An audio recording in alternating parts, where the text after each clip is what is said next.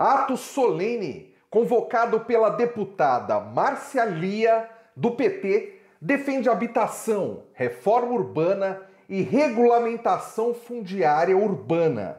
Mas, antes de tudo, mostra-se contra o PL 529 de 2020 do governador João Dória, que ameaça extinguir a CDHU, Companhia de Desenvolvimento Habitacional e Urbano, e também o ITESP, Fundação Instituto de Terras do Estado de São Paulo.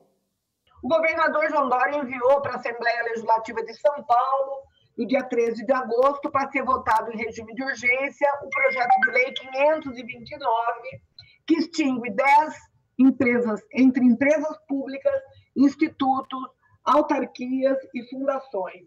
Ele também, esse projeto de lei também retira fundos de reserva de três universidades públicas estaduais, a USP, a Unicamp e a Unesp, e sangra os recursos da ciência e tecnologia, retirando dinheiro do Fundo de Reserva, do Fundo de Amparo à Pesquisa no Estado de São Paulo, a FAPESP.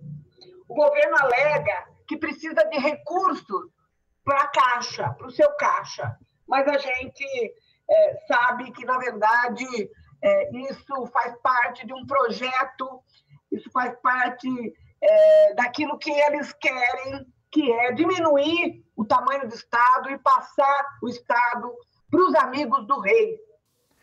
O defensor público do Estado, Alain Ramalho Ferreira, destacou o déficit habitacional de São Paulo e analisou a legalidade do PL 529 adiantando que o parecer da Defensoria Pública é contra o projeto do governador João Dória. Eu queria falar um pouco de aspectos legais do projeto de lei.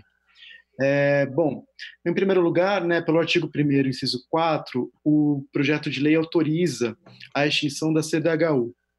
É, segundo a justificativa do projeto, com o desenvolvimento de outros programas na atividade privada para o setor de habitação, a CDHU teria perdido espaço para alguns outros programas, como é, as PPPs, a Casa Paulista e o programa Minha Casa Minha Vida.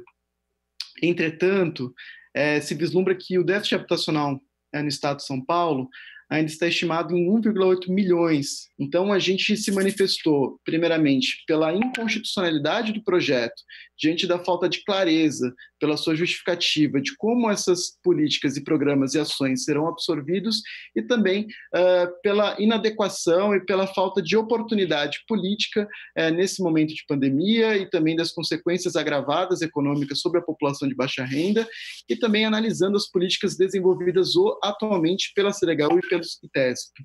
Benedito Barbosa, da Central de Movimentos Populares de São Paulo, mostrou-se indignado com as poucas justificativas apresentadas no documento, que prevê a extinção da CDHU e do ITESP, e fez ironia a respeito do documento. Eu estava lendo né, lá a, as justificativas né, da, da, da, da da extinção, né, da, tanto do ITESP quanto da CDHU, né, o, eles, para a proposição da extinção do, da CDHU, pessoal, eles propuseram três parágrafos, né? Como é que você extingue, né? É, é, uma, é uma tragédia, uma vergonha. Como é que você pode, em três parágrafos, né? Meio, meia folha de sulfite, propor a extinção de uma companhia né, que tem um papel estratégico, a companhia de produção habitacional mais importante do país, né, uma das poucas que existe em todo o país, né, e a mais importante, né, a quantidade de obras de, de produção habitacional que já fez, que existe há 71 anos, né? desde 1949. Como é que é possível, né, em três parágrafos, você propor a extinção da companhia? E pasmem vocês, né, a extinção do ITESP está em dois parágrafos. Então, a gente pode dizer aqui, Márcia né, e pessoal, né, que o governador Dória considera que o ITESP e a CDHU não vale uma folha de sulfite. A deputada Márcia Lia concluiu o ato solene dizendo aos participantes que a intenção do governo do estado em extinguir a CDHU e o ITESP é acabar com as políticas públicas habitacionais. com o fim do CDHU, a gente sabe que as políticas de habitação elas serão é, extintas. A gente sabe porque a gente conhece esse governo. A gente viu que o governo do Mário do, do Mário Covas, não, do Bruno Covas está fazendo sob a alegação de que eles iam fazer as famosas PPPs, eles acabaram com todos os programas de habitação e não saiu PPP nenhuma, porque neste momento a gente sabe a dificuldade que as empresas privadas estão passando e ninguém tem interesse em fazer casa para pobre, fazer casa para quem de fato precisa. A gente precisa dizer isso para as pessoas.